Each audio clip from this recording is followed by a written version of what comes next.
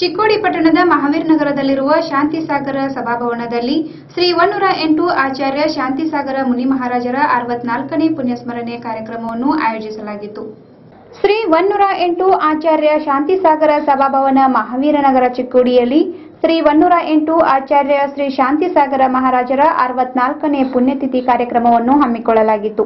September ಒಂದು, ಎರಡ್ ಸಾವಿರದ ಹತ್ತೊಂಬತ್ತು ರವಿವಾರದಂದು ಶ್ರೀ ಒನ್ನೂರ ಎಂಟು ಶಾಂತಿಸಾಗರ ಮಹಾರಾಜರ ಅರವತ್ನಾಲ್ಕನೇ ಪುಣ್ಯತಿಥಿ ಕಾರ್ಯಕ್ರಮದಲ್ಲಿ ಒನ್ನೂರ ಎಂಟು ಶಾಂತಿಸಾಗರ ಮಹಾರಾಜರ ಭಾವಚಿತ್ರ ಮೆರವಣಿಗೆ ಮಾಡಲಾಯಿತು. ಶ್ರೀ ಒಂದ್ ಸಾವಿರದ ಎಂಟು ಶಾಂತಿನಾಥ ದಿಗಂಬರ ಜೈನ ಮಂದಿರದಿಂದ ಮಹಾವೀರ ಕೀರ್ತಿ ಸ್ತಂಭದವರೆಗೆ ಮೆರವಣಿಗೆ ಸಾಗಿತು. ಸಭಾಭವನದಲ್ಲಿ ಮಹಾರಾಜರ ಭಾವಚಿತ್ರಕ್ಕೆ ಪುಷ್ಪಾಂಜಲಿ ಹಾಗೂ ಉಪನ್ಯಾಸ ಕಾರ್ಯಕ್ರಮಗಳು ಜರುಗಿದವು. ಕುಮಾರಿ ಕವಿತಾ ವಟಾರೆ ಮಾತನಾಡಿ, ಶ್ರೀ ಶಾಂತಿಸಾಗರ ಮಹಾರಾಜರ ಜೀವನವನ್ನು ಅತ್ಯಂತ ಸೊಗಸಾಗಿ ವಿವರಿಸುತ್ತಾ, ಅವರ ಸಂಸ್ಕಾರ, ಸಂಯಮ, ಉಪವಾಸ, ಧ್ಯಾನ, ಗುರುವಿನ ಮಹತ್ವ, ಮುನಿ ಪರಂಪರೆ, ಮೋಕ್ಷ ಪ್ರಾಪ್ತಿ, ಸಮ್ಯಕ್ತ್ವ ಮತ್ತು ವಿದ್ಯತ್ವಗಳ ಕುರಿತು ಅರ್ಥಪೂರ್ಣವಾದ ವ್ಯಾಖ್ಯಾನ ನೀಡಿದರು.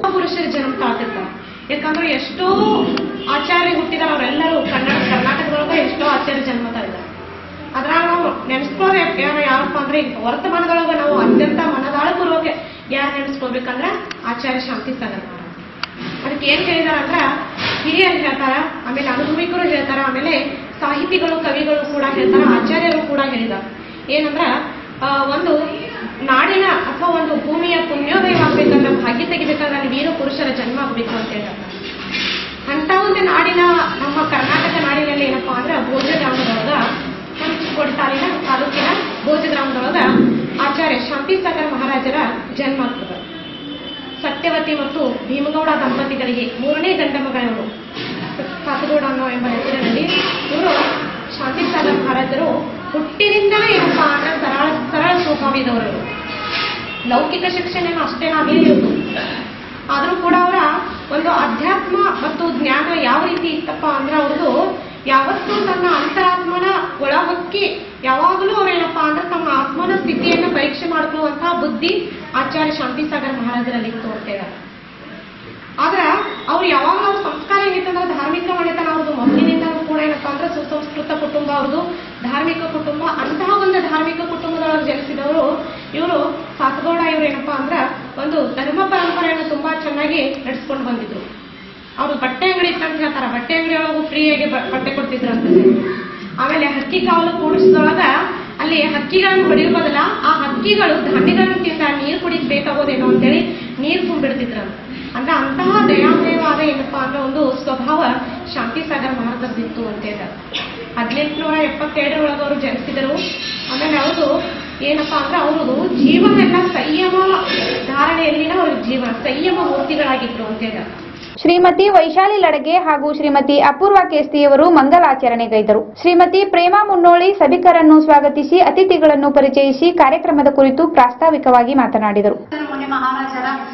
ಪುಣ್ಯತಿಥಿಯನ್ನು ಆಚರಿಸುತ್ತಿದ್ದಾರೆ ಆದ್ದರಿಂದ ನಾವು ಸಹಿತ ನಮ್ಮ ಟ್ರಸ್ಟ್ ಹಾಗೂ ಮಹಿಳಾ ಮಂಡಳ ವತಿಯಿಂದ ನಮ್ಮ ಮಟ್ಟಿಗೆ ನಾವು ಒಂದು ಈ ಕಾರ್ಯಕ್ರಮವನ್ನು ಸಂಭ್ರಮದಿಂದ ಆಚರಿಸೋಣವೆಂದು ನಾವು ನಿಶ್ಚಯಿಸಿದೆವು ಅದೇ ರೀತಿಯಾಗಿ ಆಚಾರ್ಯ ಶಾಂತಿ ಸಾಗರ ಮುನಿ ಮಹಾರಾಜರು ಪರಮ ಪೂಜ್ಯರಾಗಿದ್ದಾರೆ ಅವರು ಯಾಕೆ ಪರಮ ಪೂಜ್ಯ ಆದ್ರು?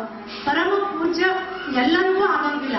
ಯಾಕಂದ್ರೆ ಆದರಣೀಯ ಹಾಗೂ ಪರಮ ಪೂಜ ಯೂಶ್ವಲಿ ಎರಡು ಸಮಾನಾರ್ಥಕ ಪದಗಳು. ಆದ್ರೆ ಆದರಣೀಯ ಈ ಪದ ನಾವು ಗಣ್ಯ ವ್ಯಕ್ತಿಗಳಿಗೆ ಉಪಯೋಗಿಸ್ತೀವಿ. ಆದರಣೀಯ ಮುಖ್ಯಮಂತ್ರಿಜಿ ಆದರಣೀಯ ರಾಷ್ಟ್ರಪತಿ ಅಂತಿಲ್ಲ. ಆದ್ರೆ ಅವರಿಗೆ ಪರಮ ಪೂಜ ಅಂತ ಅಣ್ಣ ಅಣಿಸ್ಕೊಳ್ಳೋದಿಲ್ಲ ಯಾಕಂದ್ರೆ ಯಾರು ಪರಮ ಪೂಜ ಅನ್ನಿಸ್ಕೋತಾರ? ಯಾರು ಈ ತನ್ನ ಆತ್ಮವನ್ನ ಭಗವಂತನಲ್ಲಿ ಲೀನವಾಗಿ ತನ್ನ ಒಂದು ಆತ್ಮದ ಕಲ್ಯಾಣಕ್ಕಾಗಿ ಹಾಗೂ ಪ್ರತಿಯೊಬ್ಬರ ಜೀವ ಜಿನವಾಗಲು ಯಾರು ಪ್ರಯತ್ನ ಮಾಡ್ತಾರ ಅವರು ಪರಮ ಪೂಜ್ಯರಾಗ್ತಾರ. ಆ ಒಂದು ನಿಟ್ಟಿನಲ್ಲಿ ಆಚಾರ್ಯ ಶಾಂತಿ ಸಾಗರರು ಸಹಿತ ಒಂದು ಪರಮ ಪೂಜ್ಯರಾಗಿದ್ದಾರೆ. ಈ ರೀತಿಯಾಗಿ ಆಚಾರ್ಯ ಶಾಂತಿ ಸಾಗರರು ಪರಮ ಪೂಜ್ಯ ಅನಿಸಿಕೊಂಡಿದ್ದಾರೆ.